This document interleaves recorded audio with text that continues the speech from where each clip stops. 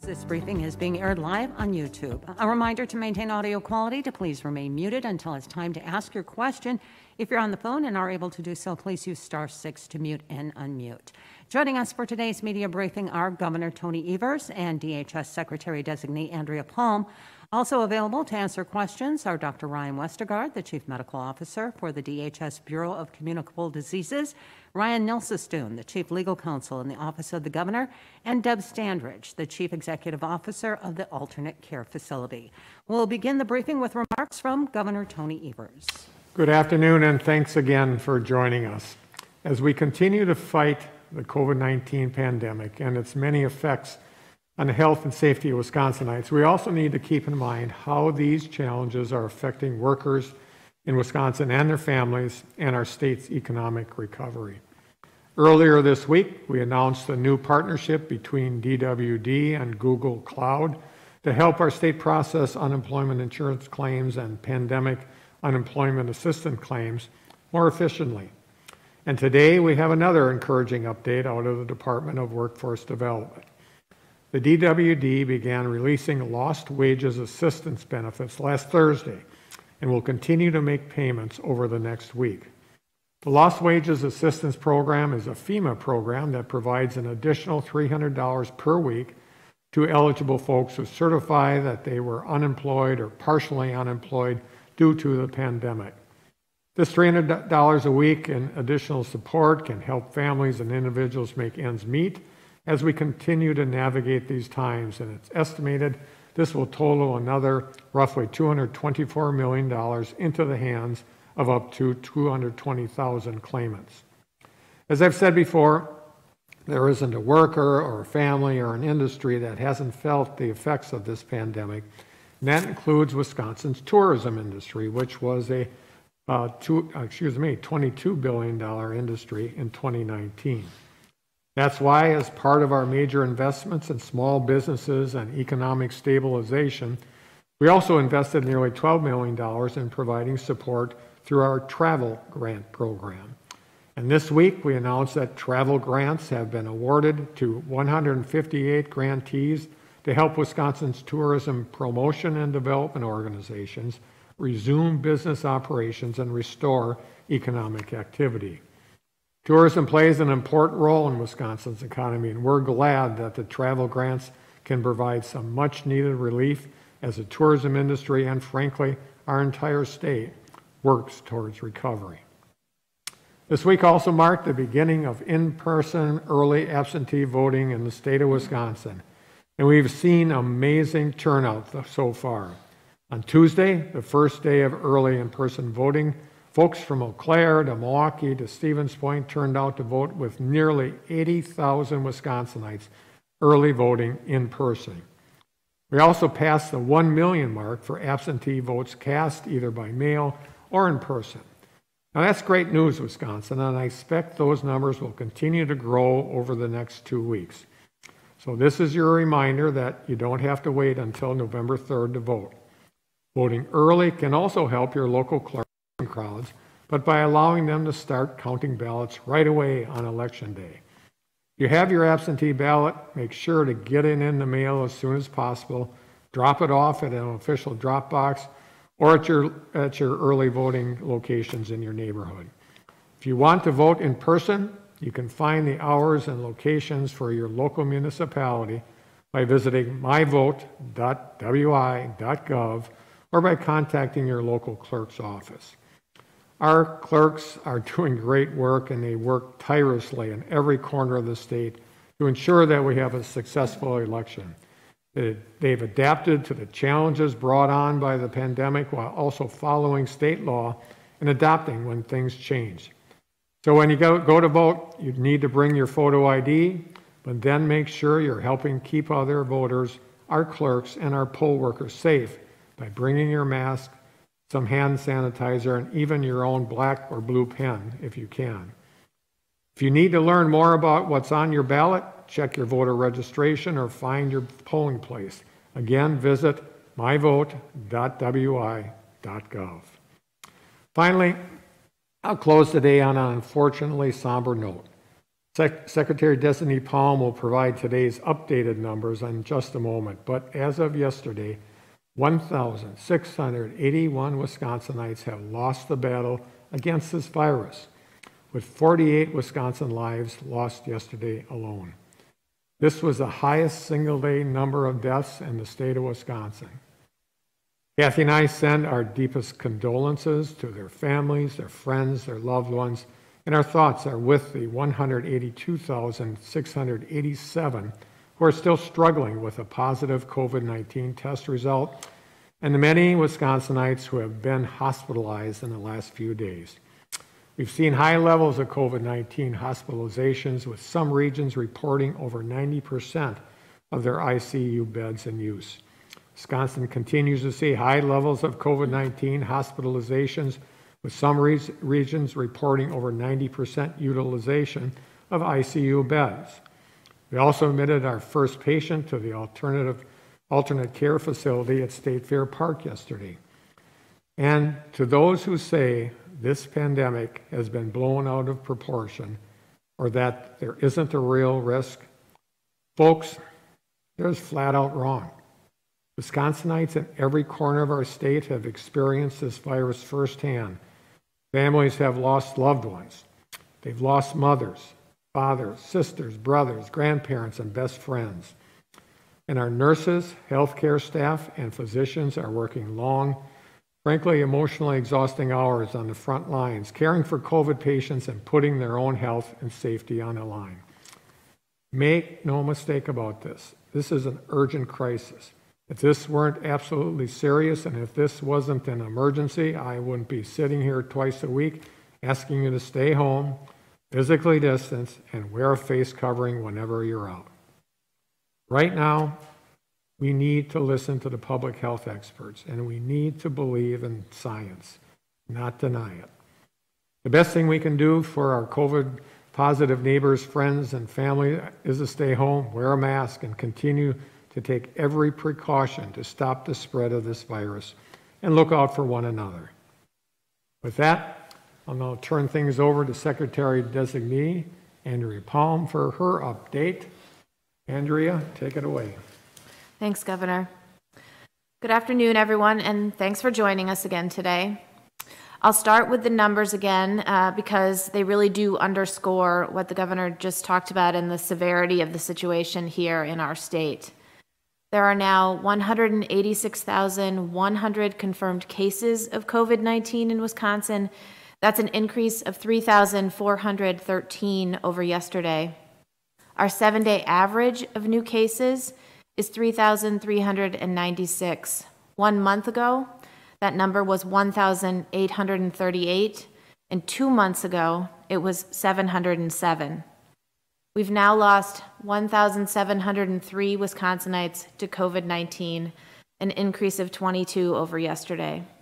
In mid September, Wisconsin had 15 counties that were at very high COVID activity level. Five weeks later, 68 of our 72 counties are above the very high threshold of at least 350 people infected with COVID 19 for every 100,000 residents. In fact, the case burden in some of our counties are five, six, and even eight times higher than that threshold. COVID 19 is everywhere in our state, and it's still spreading. When activity level is this high and the trajectory of our cases is growing, gatherings of any size are not safe. Interacting with people outside of your household can easily spread the virus, and once the chain of transmission starts, it can lead to serious infections and hospitalizations across our communities. Across the state, COVID 19 hospitalizations have increased 22% this week compared to last week. In the Northwest region, that increase is much higher at 52%. The number of COVID 19 patients in the ICU is also much higher than before. Across Wisconsin, we have seen an increase of almost 21%. In two regions, that increase is 50% or higher. A week after opening the alternate care facility, we admitted our first patient yesterday, and we have one patient there today. These are stark numbers. And with our current surge in cases, our hospital numbers are going to get worse before they get better. We must take action immediately to stop transmission and get Wisconsin moving in the right direction again. Please stay home. Limit your interactions with people to only the people that you live with. Wear a mask, physically distance, wash your hands, get tested if you have symptoms or have been exposed to COVID 19. Notify your contacts and quarantine as you wait for your results and self isolate if you test positive. To ensure that everyone who needs a test can get a test, DHS is partnering with the Wisconsin National Guard and local and tribal health departments to expand testing access to 70 new sites around the state. So please, if you need a test, get a test. You can find testing sites in your community by going to dhs.wisconsin.gov and clicking on the link that says Community Testing Site. With your help, we can stop the spread, save lives, and get Wisconsin through this crisis. Thank you. Thank you. And we'll now take your questions. A reminder to maintain audio quality to stay muted until it's time to ask your question. And we'll begin today with Matt Jarko from NBC 26 in Green Bay. Matt. Uh, yes, thanks for taking the call. This is John filling in for Matt. Uh, we were uh, wondering today in Green Bay, a local hospital began testing anyone with or without symptoms for COVID 19. Uh, they said this was in part due to resources provided through the state health department. Can you tell us, is this a key to slowing the spread of the virus, and should we expect more resources like this to be made available? So I'll ask Dr. Westergaard to dig into the details, but obviously, um, our community testing program and the uh, increased access we're trying to provide around the state with these new sites um, uh, really is about uh, understanding where the disease is, right? It is the the way we start to be able to take public health action to stop the spread. Who who is positive? The, and and testing is the way you find out the answer to that question. And so we do think it's really important uh, for folks. Uh, uh, who need a test to get a test, and, and we really are anxious um, for folks to check out uh, where their community testing sites are in their communities and get a test if they need one. But Dr. Westergaard, you may want to speak to the asymptomatic part of that. Sure. I think it's very likely that the majority of new cases in the state are the result of transmission from someone that doesn't have symptoms. So that's a really important thing for people to understand about this virus. It's different than, than most other diseases. Most of the time, someone who has symptoms are, is, the, is the source of most infections. Now, it's true with this virus that if people have symptoms, they are more highly infectious. But the fact that so many, that so many people can be infected without symptoms, and the fact that there's so many of them puts that at really the highest priority of, of stemming the tide of new infections. So yes, the highest priority for, for testing people are with those with symptoms because we need to get them out of, out of contact with those. The second tier is people who have been exposed. So a household member of someone who has tested positive, regardless of symptoms, should be tested as soon as they can. But in this environment where this, the virus is spreading silently throughout the whole state, we're not going to make a dent unless we test people without symptoms. This, the, you know, we need to develop strategies to do that in a coordinated way. But right now, it's inappropriate, in my view, for anyone to get turned away from a test because they're concerned that they've been exposed, even if they haven't been identified by a contact tracer as having been exposed. That's the situation where we are now. This virus is spreading silently. We have to presume that it's everywhere, and anyone that has access to a test should get a test. Thank you, Matt, or John. Now to Danny Maxwell from WKOW TV in Madison. Danny? Hi, I wanted to ask a, a question about contact tracers. Dane County uh, is kind of telling us as of yesterday they no longer can guarantee a contact tracer will be able to reach out to people who are positive. Um, and so I'm just wondering if there still is an effort to get more contact tracers or if we're beyond that point and what the current contact tracers are doing. Are they still interviewing cases that they had already been interviewing, or are they moving on to other duties? Yeah, thanks, Danny. And um, again, Dr. Westergaard might, may want to dig in here a little bit, but I would say um, we at the state, uh, well, let me step back and acknowledge that the public health infrastructure in the state of Wisconsin, when it comes to contact tracing, uh, uh, is is is beyond its capacity.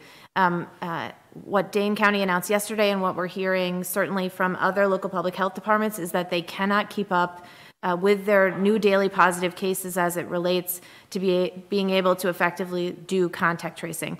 It speaks uh, really urgently to the need for all of us to, to take the actions together that are necessary to stop the spread, to take that pressure off the local public health infrastructure so we can get back to a place where, uh, where we can contact trace uh, in a more effective way.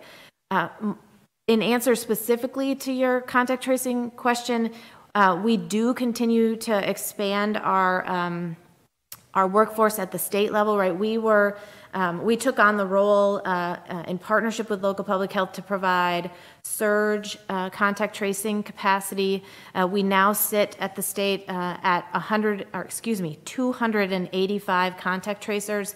Uh, we will have an additional 47 that will start on Monday. we'll go through their training and, and be able to get on the phones and get in the mix on contact tracing after that, as we drive uh, at the state towards a number of about 400 contact tracers.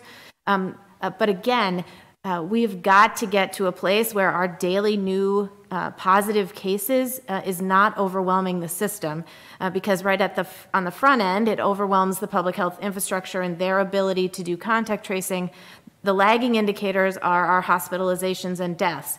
And, and, and so um, until we see new daily cases go down and we start to take that pressure off local public health, it is not going to um, uh, carry forward into reduced hospitalizations and deaths. And so we've got to do this work now.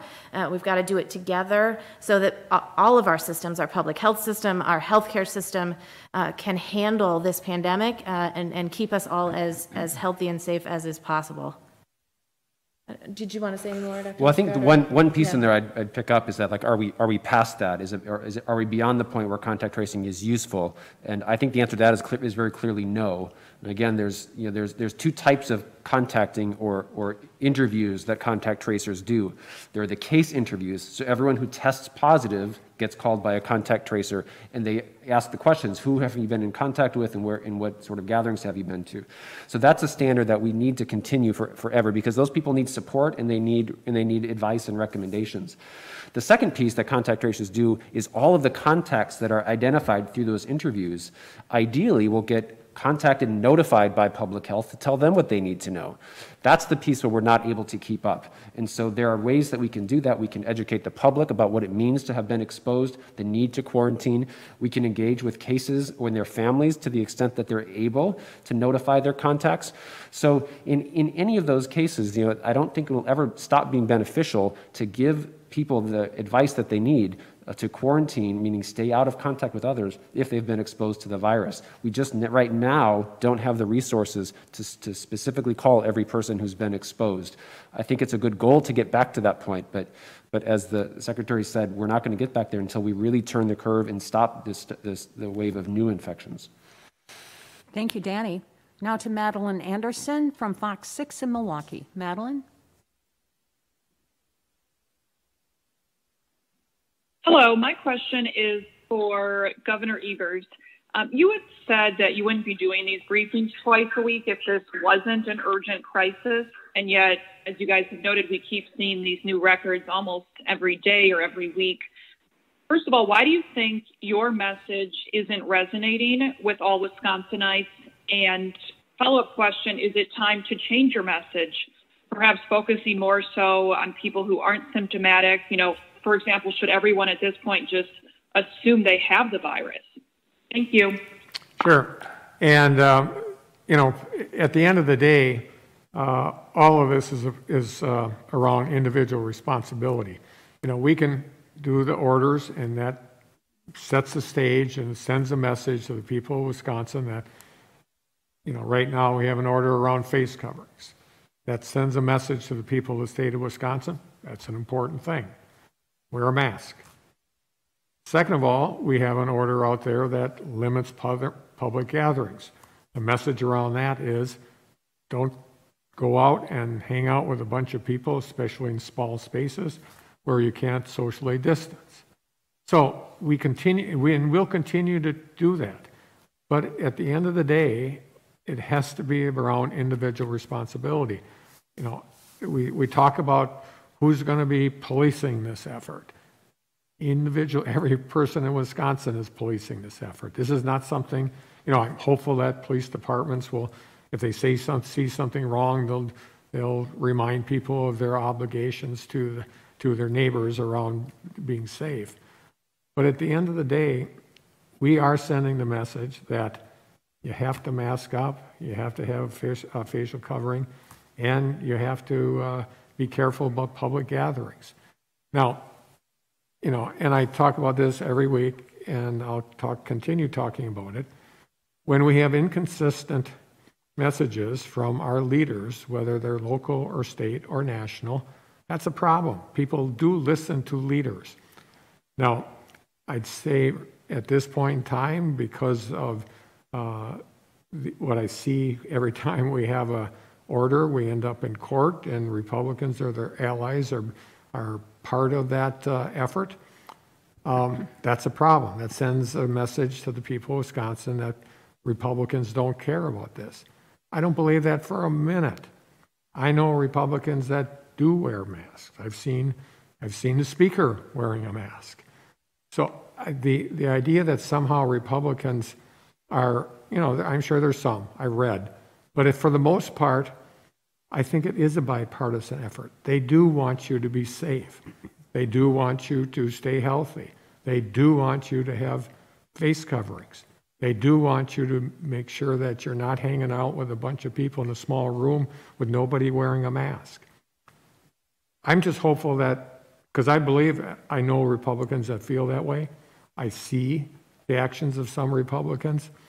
I encourage them to speak up too. This is not a one-man band here.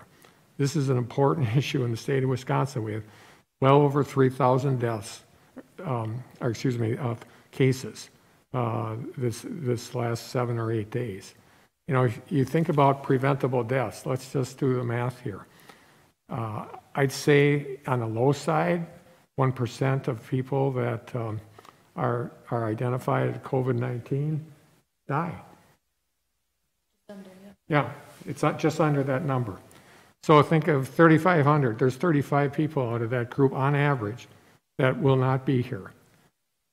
Come on, folks. Let's all get together. It's individual responsibility. This is not a, this is not a political statement. Thank you, Madeline. Now to Rob Sussman from WTAQ Radio in Green Bay. Rob? Yeah, thanks so much for taking my question. Um, my question is for uh, the public health leaders here. Um, is there any evidence whatsoever that any of the mitigation strategies that public health is currently uh, performing in the state between the mask mandate, the gathering mandate, is there any evidence whatsoever that any of it is working? Thank you. Yeah, Rob, I'll, uh, I'll let Dr. Westergaard dig in a little here. I think um, one of the things we've talked about throughout this pandemic is the lessons we've learned uh, from uh, watching uh, folks around the globe as well as states around the U.S. And I think uh, one thing that is certainly very clear when you look at the surges that happened uh, in the South and uh, in other parts of the state um, in, in the months preceding the current situation that we are in, um, there's, there's not a state whose hospitals were um, filling up the way ours are filling up that did not take mitigation strategies uh, similar to and, um, and exceeding the ones that we have taken here in the state of Wisconsin. There is, um, there's no doubt that uh, the way you stop the spread of this virus is, is by reducing contact between people. Um, and and uh, the, the way you do that is through wearing a mask, through physical distancing, through not gathering with people outside of your home. Um, these are tried and true, tested and proven public health interventions. Um, and, and states uh, across this country and countries around the world have used them uh, to bring their outbreaks under control. And it is what we need to do here in the state of Wisconsin. So I think there's a couple ways to answer that question. One is, is, is, there, is there evidence that the strategies are effective? And the evidence is, is very strong. And we review that, that, that scientific literature about the effect of face masks on reducing transmission, the effect of, of, of physical distancing of greater than six feet. So the science is very clear that those are the determinants that, that decide whether a person with the virus spreads it to the other. I don't think that's what you were asking, though. I think you were asking, you know, are, are the policies and the messages that we've done to try to get this, implement this strategy working? And I think it's a fair question, but I think the evidence is overwhelming that they have. What, what we know about the virus in terms of how quickly it spreads through a population if we do nothing is that it's very rapid and a large proportion of the people will become exposed in a relatively short period of time. We saw that in, in, the first several weeks in the city of Wuhan in China. We saw that in April in New York City. So, left to its own devices, we could have 10 times more cases and more deaths than we have right now. In fact, that's what would be expected if we didn't do infection prevention like we're doing. So, the strategy that we've done, and, and so I think that's important for us to, you know, the, the whole state, not just public health, but to acknowledge what we've accomplished. Knowing what we know about this virus, it could have been dramatically worse, 10, 20 times worse than it is. The only reason it's not is because we have done the things that the evidence shows reduces transmission, and that's face coverings in public, keeping gatherings small, hand washing, isolation, quarantine, and scaling up testing. So, yes, I'd say strongly the evidence suggests that what we've been doing has made a very large difference. Thank you, Rob. Now to Mitchell Schmidt from the Wisconsin State Journal. Mitchell. Yeah, thank you very much for the call today. Um, Governor, it, has been about a week since you asked Republican leaders to meet on uh, uh COVID 19 measures, two weeks since they sent a similar uh, request to you. I was just wondering if you could talk a little bit about where everything stands with that meeting. Has anything been scheduled? And, and if not, uh, do you have any sense of what the holdup is? Thank you. Yeah, and uh, I, we, we have not heard, but clearly, I think both leaders do want to meet at some point in time. I'm, I'm guessing the, uh, the, the national election is playing a, a, role in that, but I have not heard, and I'm waiting for them to uh, put some plans uh, in place that on paper so that we can we can talk about that. But to answer your question directly, no, I have not received a letter to my knowledge. Thank you, Mitchell. Now to Katrina Nickel from Fox 11 in Green Bay. Katrina?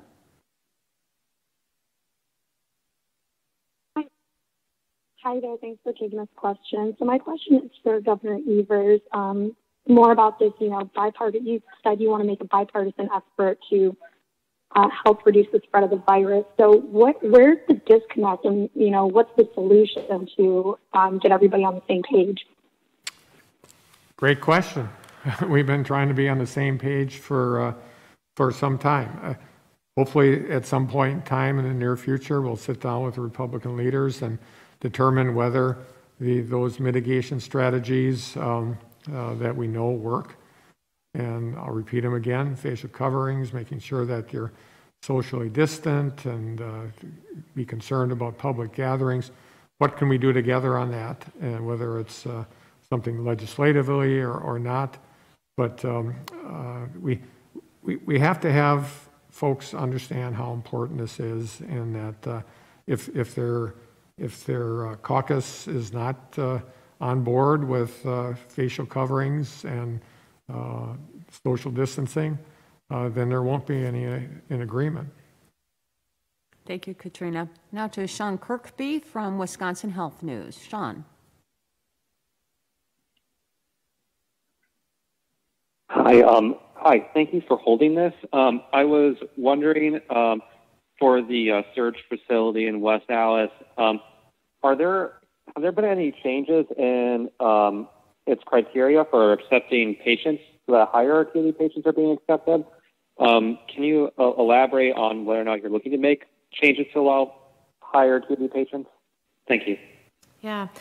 Thanks, John. I, I, am going to ask uh, Deb Standridge to weigh in here. I would say broadly um, that right, this alternate care facility is designed uh, to to be a backstop for our hospitals across the state, and and and we are in constant conversations with them about uh, how we uh, how we move through this uh, together. Um, and so I know Deb and her team have been having a lot of conversations uh, with them uh, specific to your to your question, and so I will ask her to weigh in on on that if she would. Thank you, Secretary Palm. You're absolutely correct. Daily, we have conversations with our healthcare partners about how we can uh, integrate with them in helping serve the patients in our community. We have made changes based on the feedback we have received from the healthcare facilities. For example, we now are, are able to uh, administer remdesivir to patients. And I've got to thank the Department of Health Services and the Department of Administration, who wrote uh, a very uh, an appeal to the FDA to include alternate care facilities in the regulation in terms of facilities that can administer this very important drug. And within 36 hours, the FDA came through and gave uh, the ability for alternate care facilities across the United States to be able to do that. That was a game changer for our healthcare facilities because there are several patients on this drug. We listened to our healthcare partners and we responded with the help of uh, Department of Administration, Department of Services. We have looked at other areas in terms of age criteria, in terms of patients in the emergency department, and we've made changes to our criteria based on that. So we are flexible, we are nimble, and we are responding to the needs that our healthcare partners are asking of us. Thank you, Sean. Now to Mason Dowling from WAOW TV in Wausau. Mason. Hi, uh, my question is for DHS and health officials. We just had a presser earlier today with Aspirus Health Systems, you know, one of several hospital groups here in central Wisconsin that says the virus is uh, starting to impact their uh, employees as well. Uh, are you hearing more reports of hospital systems saying that now their, you know, doctors, nurses, healthcare workers are starting to feel the effects of the virus and caring for all those affected as well? Mm-hmm.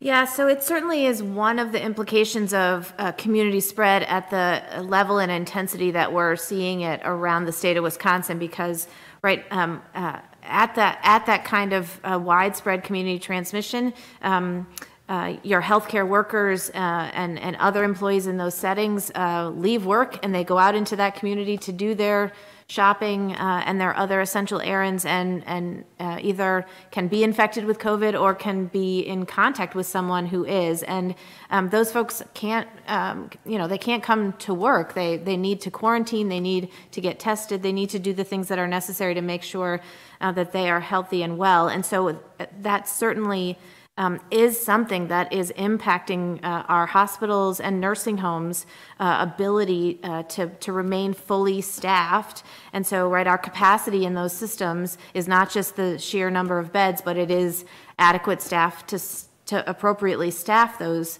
beds. And so, it's a really important part of how we maintain the capacity of our healthcare system. It is why we talked back in March and April about needing to flatten the curve to protect our frontline healthcare workers and hospital systems. It is that, that piece of their potential uh, infection and need to quarantine and um, therefore getting pulled out of the workforce uh, um, as, as they await their results and understand their health before they can go back to work. So um, the deployment of rapid Testing uh, is something we have been uh, doing for hospitals um, thanks to some assets that the federal government has provided to us to help ease, to help do, uh, again, rapid testing to get those folks who can back into the workforce as quickly as possible. Uh, we've done a number of things on the regulatory side to improve flexibilities uh, for our hospital systems, including uh, allowing um, out of state licensed providers uh, to fill those gaps. Uh, we have a, a volunteer.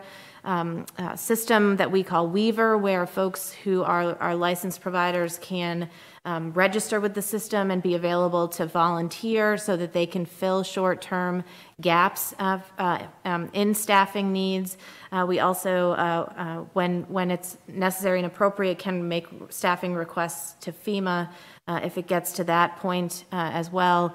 Um, but we are pulling all the levers that we can um, because, again, our, our bed capacity um, uh, our capacity in our, our hospital systems is not just about beds, it's about adequate staff uh, to provide that care. So it's a really important piece of this and something we're, we're very focused on.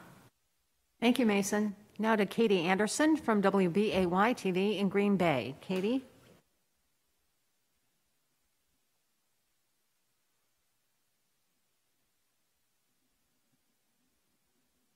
Katie Anderson from WBAY.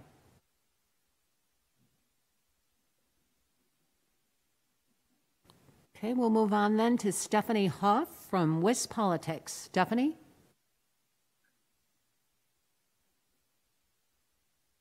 Uh, good afternoon. My question is for the governor. Uh, so we're about two weeks into the capacity limitations, um, one uh, incubation period for the virus.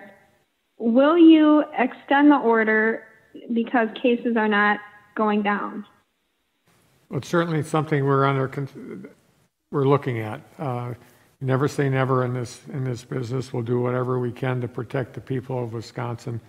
Uh, But um, yes, we, that order was based upon two incubation periods, and uh, uh, we're we're getting close to the end. So uh, anything is on the table, but uh, no decisions have been made yet. You, Stephanie. Now to Todd Richmond from the Associated Press. Todd? Hi. Hi, can you hear me? Uh, I just wanted to circle back to the, the questions earlier about the messaging. I mean, clearly, you've been saying, you've been delivering the same message now since March. Clearly, it's fallen on far too many deaf ears across the state. It's ineffective. And what is your plan B? Or is the plan just to continue to tell people to mask up and, and watch them ignore it? Or is there no plan B? Uh, what is your, what is the different tactic here? How can you change tactics? Well, first of all, as, as you heard before, Todd, that the, we believe that the orders have made a difference. It would be worse without them. And uh, frankly, the science is all about the things we're talking about. I, just can't make up crap out of thin air here. Uh, so we will continue continue to have that conversation around the things that we know work. So we're looking at a, a number of people that uh, uh, are not complying. Uh, 70 some percent in the state uh, indicate they support face coverings. Uh, so I can assume that uh, at least or about that number, maybe a little less, maybe a little more, are um, are complying.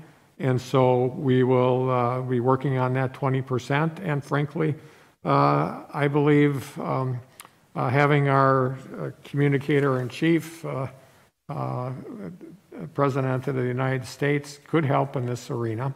Clearly, he has now, he is, uh, keeps talking about us turning the corner. Uh, everything's going to be good by Christmas. I heard that about Easter. Um, and so there, there is, uh, there is a belief, I think, on most part of, of this country that the president thinks this isn't a big deal.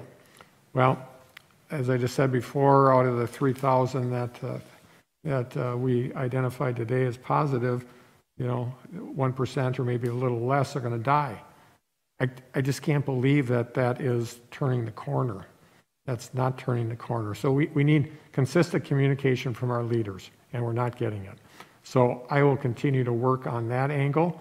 Uh, if some new science comes up and I don't have to make up stuff out of thin air uh, to get people to do it, um, we will certainly advocate for new science, but at the end of the day, the things we're talking about now are still important. We just need the leadership, a uniform um, a leadership effort to uh, communicate that. Thank you, Todd. Now to Lane Kimball from News 3 Now in Madison. Lane?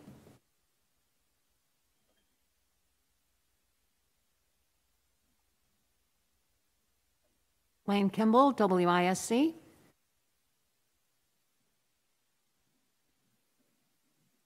Okay, we'll move on then to Heather Poltrock from WSAW in Wausau. Heather. Um, hello. Some people who've been diagnosed with COVID 19 are continuing to see health impacts quite a few months later. And we've talked with a few individuals who have not been cleared to go back to work because of that. And doctors really don't have good treatment for them. So, can you share are there um, any plans for, uh, or sorry, so statewide, or, or in terms of how many people are getting these longer lasting impacts, what hope is there for treatment and um, what can help these people get back to work? So, so the, the that's it's. Uh, thank you for, for raising that. It's it's definitely true. We've observed that people can feel quite lousy for a long time, even after they've been through the 10 day period that we think they are infectious. So, what, what's behind that is, you know, the, the virus causes an acute illness, causes the fever and the runny nose and the cough. But then there's a, a whole range of other kinds of damage mediated by the immune system and, and other things that we don't fully understand that can cause damage to the body that takes a long time to heal. Um, so it's, it, it is quite common for people to continue to have symptoms for some time. The best science indicates that even among those patients, if, as long as their fever has gone away and they have, um, by all accounts, a, a, normal immune system, they don't remain contagious for more than 10 days. So people can generally return to work after they meet that 10 day window for um, discontinuation of isolation, even if their symptoms haven't resolved.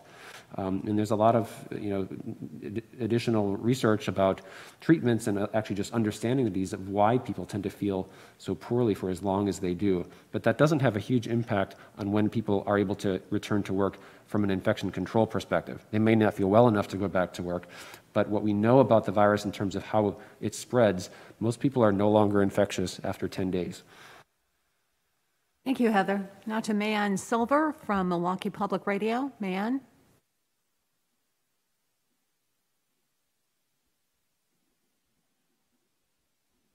Hi, sorry about that. I'm, I'm here. Thank you so much. Um, I was wondering, we've been hearing that President Trump is going to come again to Wisconsin this weekend. I'm not sure if that's been completely confirmed. Um, do you have any evidence? Like, wh- what's your reaction to that for Governor Evers? And do you have any evidence um, in terms of for the public health officials of the of these events being spreaders or super spreaders? Well, my re- my response is twofold. One is uh, as, as you know, uh, even though they're outdoors for the most part, um, those events have people sitting shoulder to shoulder, talking to each other, yelling, screaming, dancing um, without masks. And so that's just not where I believe uh, we need to be as far as sending a message. And then we have uh, the president essentially saying, we're rounded the corner, things are fine, da da da. So, you know, I, I can't control his his political message, um, even though it's dead wrong. Uh, but um, uh, he should. I know he has the ability to um, set parameters for his uh, audience, and I would expect him to do that. Not just hand out masks, not not just say wear them, but they should, he should essentially say, if you're not wearing a mask and you're not sitting six feet apart, don't come. I mean, that, that, that should be his message. Do I think that's going to happen? Absolutely not. There's no, there's no data to support that. There's no information in, in my worldview that says that he's been doing that. So it'll be a disappointment because he's not following science, but um, not a surprise. Thank you, Man. Now to Mary Jo Ola from TMJ4 in Milwaukee. Mary Jo. Hi, thanks for taking uh, this call again. Um, this may be a question more so for Secretary Designee Palm or for Ms. Uh, Deb Standridge. Um, regarding the alternate care facility, uh, I think it's the Wisconsin Hospital Association yesterday told us that um, it's been tough to get patients to go there to receive care rather than at the hospital. I'm just curious to hear do you guys see that as a challenge, as a concern? Should there, do you think, as far as addressing the current strain on healthcare systems? Yeah, Deb, I'll let you take that as you've been having conversations with the hospitals. It's, it's a great question. Eh, none of us have been through a pandemic. And presenting the option of going to an alternate care facility to a patient is a brand new patient care model. It's not their neighborhood hospital that they're used to going to for when they're ill, but also when they're healthy. So it's having that conversation because they ask, well, what does this mean? Is it is it like a hospital? Is it do they have licensed healthcare professionals? That's why we put together a brochure that the caregivers can give to the patient at their bedside. We also have been able to have, when the caregivers ask us to, have conversations with patient families. I've had conversations with patient families who have, uh, have been considering coming here in terms of assuring them this is a license, we have licensed care professionals, we have licensed RNs, we have respiratory therapists, et cetera. We are an alternative to continuing your care that you're now receiving in a hospital. But this is brand new. It's unique. It's unknown to the patient. And those continual conversations we need to have with patients and families during this unprecedented time is what's occurring right now, familiarizing them with this brand new model that is in place in Wisconsin. Sophie Carson from USA Today Network, Wisconsin. Sophie? Hi, um, thanks for the call today. Uh, my question is following up on a Washington Post story that came out a few days ago that uh, almost 300,000 Americans, uh, more, about 300 more, I'm sorry, more uh, have died this year um, than previous years due to COVID, but also um, other causes of death. In Wisconsin, that's about 2,800 more people who have died um, than during an average year. Uh, looking for um, anyone's comment on that um, as to sort of the, the effect this virus has had on, on the state. Have you have you looked? That's about a Harvard study, I think, right? Yeah, no, I'm not familiar with the the, the paper itself, um, but I I think the you know uh, national data suggests you know all all cause mortality has been has been elevated because you know during the pandemic, and it's a combination of between you know cause death directly due to COVID nineteen Potentially other, other explanations are deferral of care during the period where not a lot of you know, medical care was being given in, in the same way and people were nervous about going to the hospital for, routine, for, for, for routine care or for emergency care. I think there's a lot more study that needs to have done to understand the, the mechanisms for that. Um, but it hasn't just been deaths due to the virus. It's, it's, it's a good point, but I, I haven't read the, the study or the paper yet. Thank you, Sophie. Now to Denise Lockwood from Racine County Eye. Denise?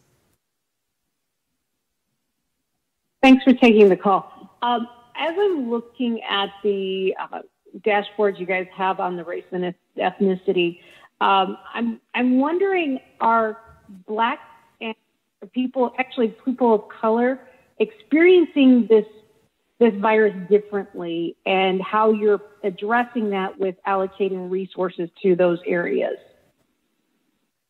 So I think um, one of the things that's was really important from our perspective about uh, adding that dashboard and that information to the website um, was uh, to put it into some context, um, not only uh, relative to um, their percentage of population uh, in the state, um, but uh, uh, to, to give some more focus on what we know are underlying um, uh, inequities uh, that that result in in worse health outcomes, not just from COVID, but uh, other um, uh, other diseases for people of color and our indigenous um, native populations. Uh, right, what we know um, is that uh, our health and well-being is inextricably linked to um, to um, the safety of our neighborhoods, to poverty, to other factors um, that influence our ability um, to be healthy and well, and and that those things that are outside of um, uh, of our control in many ways um, are, are, are, disproportionately impact the people of color of this state and, and across the nation. It is why uh, the governor has stood up uh, a health equity council um, to help us focus on these issues, to help us focus on root causes and and um, really uh, put our shoulder against.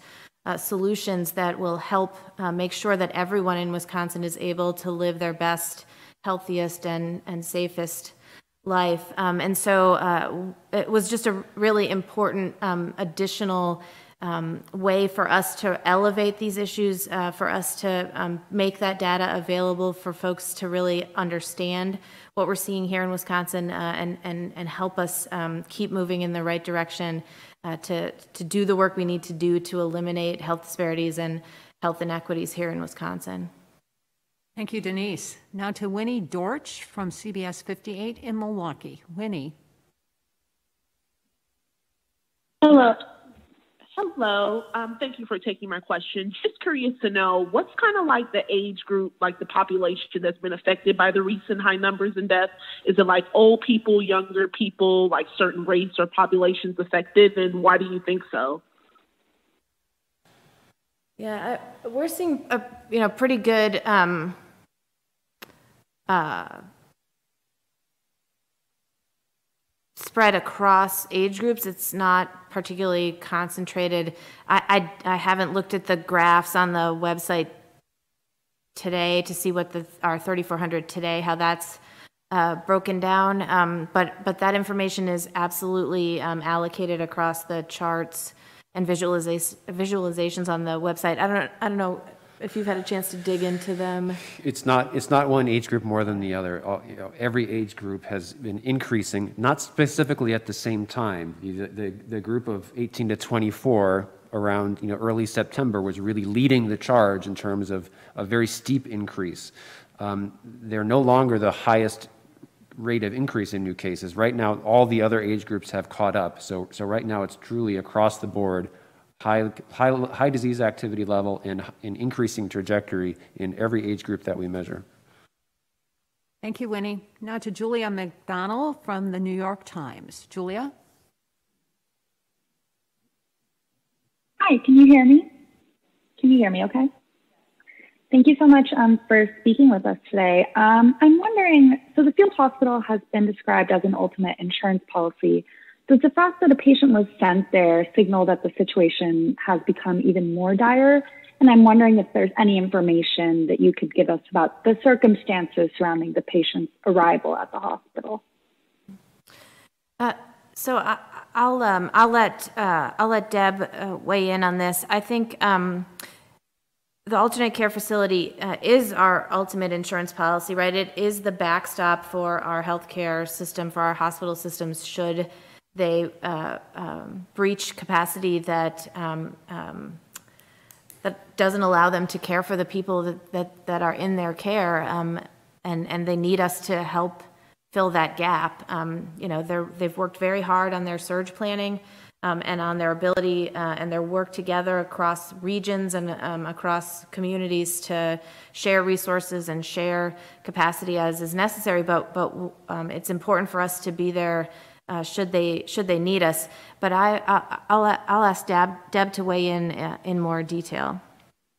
Secretary Palm, I echo your comments. Our hospitals are working very hard to optimize their capacity with the staffing resources that they have. They are working at uh, uh, being able to look at keeping those patients close to, close to them in the community. But we also have to remember that hospitals aren't just caring for COVID 19 patients, they're caring for cardiac, they're caring for oncology, pulmonology, trauma, et cetera. So it's that pressure that the hospitals are having that they end up having conversations with us as they are trying to manage their bed capacity and their staffing resources. And that's where we come in, as Secretary Palm said, as the insurance policy, should they need us. Thank you, Julia. Now to Eric Gunn from Wisconsin Examiner. Eric? Hi, thank you for taking the question. I um, the, the, of the, the, head of the state Senate Health Committee said this week that there's really nothing more that state government can do with regard to addressing uh, COVID-19. Governor Evers, do you believe that that that, there, that more could be done should the legislature choose to reconvene? And assuming that they that you do, uh, what would be your three three to five big priorities for you for further action to address the pandemic? Thank you. Yeah, I I just don't think it's, and I, I read that comment too, and it uh, took my breath away a little bit. We, we, we just can't say, uh, let's see what happens. Uh, that, that is not uh, an appropriate response. And, uh, you know, I've asked for specific ideas from uh, the Republicans, and, you know, their response up until this point in time has been, you know, a lawsuit here, a lawsuit there uh, criti- criticism in public and a lot of silence. And uh, so, and frankly, that's one of the reasons uh, we apparently lost in the uh, uh, Supreme Court the very first time was that the Republicans said they had a plan. I haven't heard it. So, again, i am looking forward to getting some specifics from them, but I, you know, I don't want to be a broken record, but there are basics at work, and I won't repeat them again. Uh, we need to get the rest of the state that is not complying to comply. We have our business, our businesses are are complying. Our, you know, there's lots of people that are complying individually. That that uh, uh, we just need to get over the hump so that all people comply and understand that it isn't about um, complying, it's about being safe and, and making sure that you're not infecting your neighbor or you're not being infected by them. And so it, it, it is, I, I, won't, I won't dissuade anybody or I won't try to argue any anything other than those points. Uh, there may be science that comes up that we could add to the add to the um, uh, mix, but uh, it's pretty basic stuff. I would like to also, uh, and if we get a chance, maybe uh, the legislators can think about, re, you know, they sent a letter, se several dozen of them, I believe, to the federal government early on in the pandemic saying, don't send us any money uh, to the federal government. That the letter went. And I'd like them to retract that. Uh, we need money. We need federal money. They can, they can print it. We cannot. And uh, our small businesses need it, our farmers need it, lots of people in the state need it, we need it to make sure we continue to do our good work. And I think uh, uh, having some official uh, action on that piece would be very, very helpful. Thank you, Eric. Now to Patrick Paolantonio from WISN TV in Milwaukee. Patrick? Yes, thank you. Uh, I have a question about hospitalizations and also the alternate care facility. So, as the hospitalization rate goes up, what are you seeing with age groups of those hospitalized? Are they trending younger? And when it comes to the alternate care facility, is the effort to familiarize people with this type of model the reason why there's only one patient there right now? Thank you. I guess uh, I'll say a couple things and then um, Deb and Dr. Westergaard can weigh in as well. I think, um, you know, again, the alternate care facility is is is our insurance policy. It, it would be our preference, and it would be the preference of the hospitals that we be able to manage this disease at the local level in in the communities where these families live, um, uh, and and not need this ultimate insurance policy. And it is the work that Safer at Home allowed us to do in this spring was that surge planning, that um, work on the ground with the hospitals so that they could be making those plans, um, uh, thinking through that stuff, figuring it out, it, it, and they are executing on those plans now. And so um, uh, I don't, we should celebrate every patient that doesn't come to the alternate care facility um, because that means that we are managing this disease. It hopefully means that we are doing the things we need to do to stop transmission, uh, that more folks are staying home, more folks are wearing face coverings, more folks are being super vigilant about physical distancing, uh, and that we're doing that work together uh, to allow our hospital systems and our frontline healthcare workers to provide the care that is needed in, in those hospitals in those communities um, and, and that the alternate care facility doesn't need to come into play uh, in, in this response. Um, but again, if we're needed, we want to be there for, for these hospitals, and it's why the work that Deb and her team is doing uh, uh is, so, is so important. And, and Deb, I'll, I'll let you provide any additional commentary you'd like to. Secretary Palm, you, you stated it beautifully. You, that was absolutely accurate. I will tell you that in the state of Wisconsin, we are truly blessed with an incredible healthcare system, with hospitals, leaders, everyone working on behalf of our residents here in, in Wisconsin during these very challenging times. Everything you said is spot on. Thank you, Patrick. Now to Joe from WORT Radio in Madison. Joe? Hi, thanks for taking my call.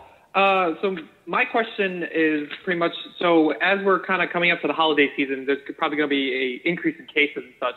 So what preparations are being made for Thanksgiving and other events coming up? Well, we're encouraging people to stay at home and uh, uh, make sure that the people that they're with, uh, the, the numbers the, are the immediate family. In my case, uh, there'll be Kathy Evers and Tony Evers, uh, period. Uh, We have three children and nine grandkids, and uh, they are not in our immediate family, at least physically. And uh, they're in our hearts, but not physically. And um, uh, the, we're encouraging people to make the celebration small. I know that's a huge, huge issue, but uh, I'll go back to uh, everything I said today, but summarize that there are preventable deaths that we um, can, there are deaths we can prevent. Simple as that. If we can prevent deaths, we should prevent deaths. That should be a top priority. Thank you, Joe. Now to Matt Piper from the Sheboygan Press. Matt? Hi, yeah, thank you for taking this call. Um, with contact tracers reporting that they're overwhelmed by the number of cases, is the state considering outsourcing any of these calls to private vendors or or also alternatively using apps for contact tracing and, and why or why not? Yeah, so Matt, we are, um, everything is certainly on the table as with this whole outbreak response, this whole pandemic response. We have, uh, we have changed and moved and adjusted and responded uh, as the virus has continued uh, to evolve uh, throughout this pandemic. I think we at the state level continue to plus up our resources to be able to provide surge uh, uh, and backup to local public health departments. Um, but fundamentally, um, we should not be chasing this disease with contact tracers. We should be doing what we need to do to stop the spread and get to a place where our public health infrastructure is not so overwhelmed that it can't handle the number of new daily cases and the contact tracing that's required by those numbers. And, and those um, mitigation strategies are how we get Wisconsin back on the right track. They are staying at home. They are wearing a mask. They are vigilant physical distancing. They are the good hand hygiene um, and making safe choices uh, uh, to prevent, uh, as as the governor just said, um, to prevent unnecessary deaths uh, and really do what we need to do uh, to get us back to a place where we can manage this disease more effectively uh, until there is a, a vaccine available for us. Thank you, Matt. Now to Maddie Heim from the Appleton Post Crescent. Maddie. Hi, thanks for having this call. Um, just another question about the contact tracing. Um, so, given what you just said about you know not chasing the disease with the contact tracers, I'm just curious. Um, are you giving any thought to redeploying some of the 75 million that it looks like we've um, dedicated in the CARES Act funding to contact tracing, um, moving that around to any other um, tools to help stop the spread, given that tracers are a little bit limited uh, more limited now than they were before with effectiveness, or is that all going to um, still be used to keep hiring more tracers? Mm-hmm. Um, so, so we have been in in um, working with uh, local public health to to on those contracts because right, what we did, Maddie, was. Uh, provided to local public health departments funding to hire contact tracers. Uh, we retained this um, surge capacity, this contact tracing surge capacity at the state level, which is the 285 folks we have driving towards 400.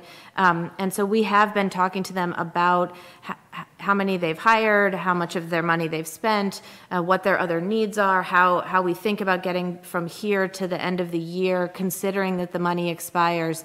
Um, and, and right, uh, local jurisdictions have hired lots of contact tracers. Um, and so the, uh, the idea that they're um, uh, that they're not utilizing that money is is not accurate. It, it is just a matter of uh, the number of new daily cases outstripping the capacity of uh, of, a, of the workforce that we have plussed ourselves up to um, in, in, in, anticipation of needing to do contact tracing. So they are all, uh, they continue to do this work.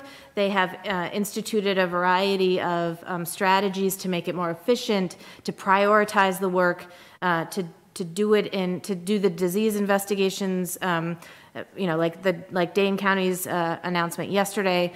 Um, but local jurisdictions are are are have hired lots of contact tracers. They continue to do uh, work in this space, and we continue to be in close contact with them about uh, the CARES Act money that we uh, have provided to them. Thank you, Maddie. And our final question today belongs to NBC 15 in Madison.